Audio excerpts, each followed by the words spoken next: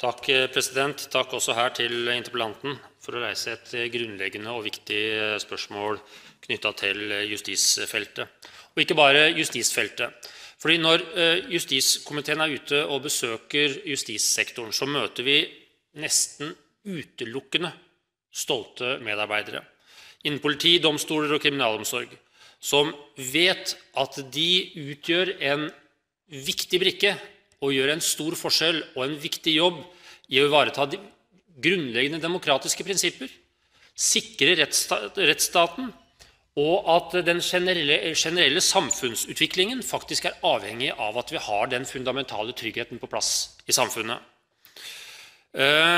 Så det er mange gode begrunnelser vi som justispolitikere møter når vi møter etatene. Begrunnelser for budsjettøkninger sett i det perspektivet. Og Det interpellanten gjør, er jo nettopp å ta tak i den positive drivkraften som vi møter i, i sektoren. Men samtidig ha med seg at vi må også stille de viktige kontrollspørsmålene. Og De foregående talerne, og ikke minst statsråden, har jo pekt på mange sentrale temaer i den sammenhengen. Det vil også jeg gjøre. Hvordan vektlegger vi det kriminalitetsforebyggende arbeid, er ett kontrollspørsmål. Hva er effekten av det kriminalitetsforebyggende arbeidet?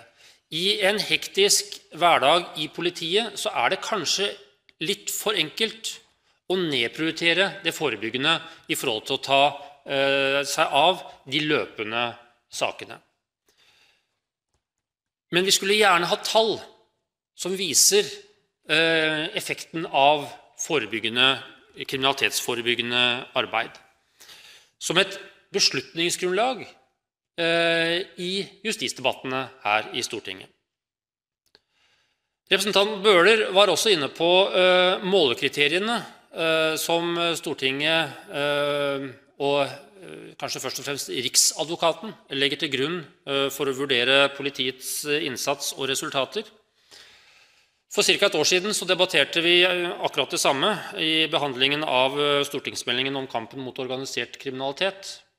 Og Et samlet storting sa jo at eh, vi imøteså departementets gjennomgang av målekriteriene, både for at de skulle fange opp flere forhold, og at vi dermed også kunne bli mer målrettet i kriminalitetsbekjempelsen. Det er et viktig tema i, eh, innen rammen av denne interpellasjonen.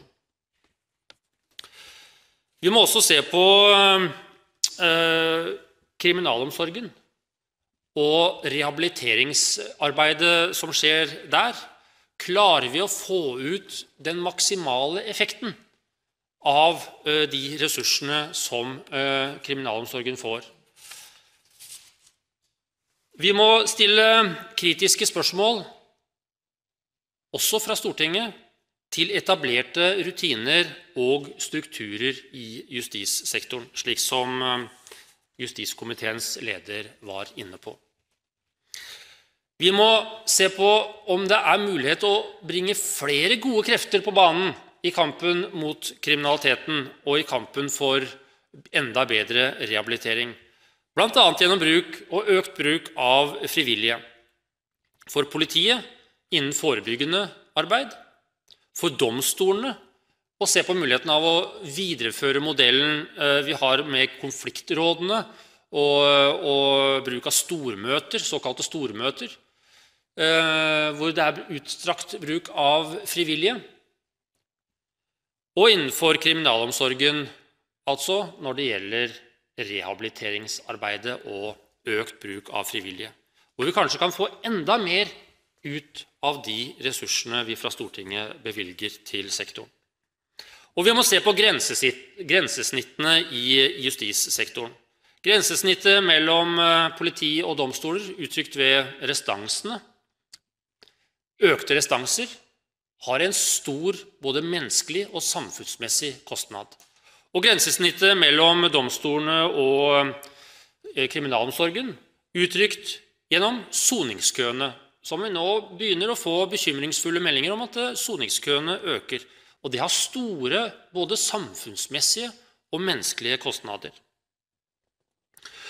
Så mitt poeng president, i forhold til den stoltheten vi møter i justissektoren, der er det også et felles ansvar vi har alle sammen, et politisk ansvar for at vi også får på plass en endringskultur, slik at vi i enda større grad får nytte av ressursene og oppnår de resultatene vi alle ønsker. Takk.